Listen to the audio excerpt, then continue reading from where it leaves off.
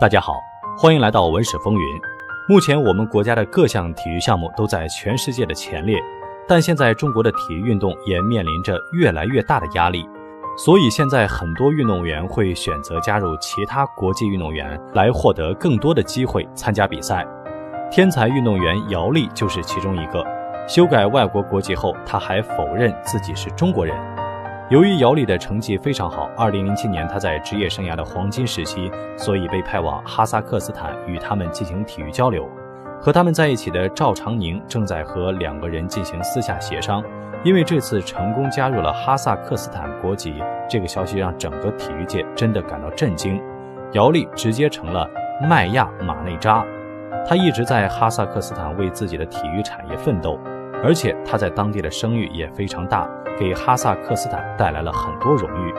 伦敦奥运会也获得了金牌，但在当时赢得伦敦奥运会之后，采访时他公开否认他与中国的所有关系，直言和中国没有一点关系。他本人只在中国生活了十年，但是对于姚丽的行为可以说争议非常大，很多人指责他，甚至他的母亲也为他的言行道歉。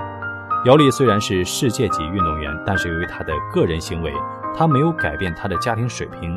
如今的她的母亲也仍然生活在农村。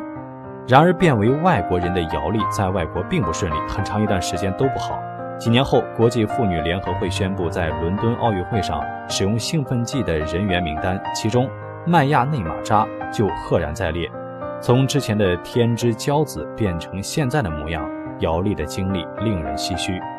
好了，今天的故事就分享到这里。喜欢我们节目的朋友可以点击关注，咱们下期见。